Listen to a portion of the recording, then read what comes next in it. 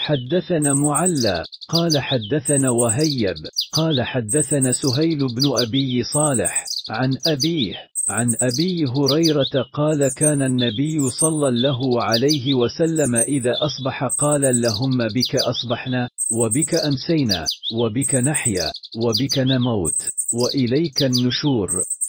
وإذا أمسى قال اللهم بك أمسينا وبك أصبحنا. وبك نحيا وبك نموت وإليك المصير.